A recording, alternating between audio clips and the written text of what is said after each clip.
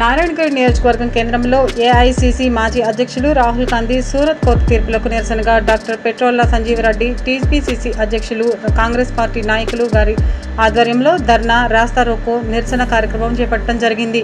నారాయణగఢ్ నియోజకవర్గం ఏఐసిసి మరియు పిసిసి పిలుపు మేరకు టీసీ టీపీసీసీ ఉపాధ్యక్షులు డాక్టర్ పటోళ్ళ సంజీవిరెడ్డి గారి ఆధ్వర్యంలో నారాయణఖేడ్లోని బైపాస్ రోడ్ మహాత్మా గాంధీ కూడల వద్ద డాక్టర్ సంజీవ్ రెడ్డి పటోళ్ళ చంద్రశేఖర్ రెడ్డి మాజీ డీసీసీ ప్రధాన కార్యదర్శి పట్ల సుధాకర్ రెడ్డి జిల్లా నాయకులు గారి ఆధ్వర్యంలో గాంధీ చౌక్ బసవేశ్వర చౌక్ వద్ద గాంధీ విగ్రహానికి పూలమాలలు వేసి ఏఐసీసీ మాజీ అధ్యక్షులు రాహుల్ గాంధీ పైన రాహుల్ గాంధీ రెండు వేల పంతొమ్మిది పార్లమెంట్ ఎన్నిక సభలో మాట్లాడిన ఒక రాజకీయ ప్రకటనను ఆసరాగా తీసుకుని మోడీ ప్రభుత్వం ఆయనపై ప్రభు విమర్శం చేయడం తగదన్నారు.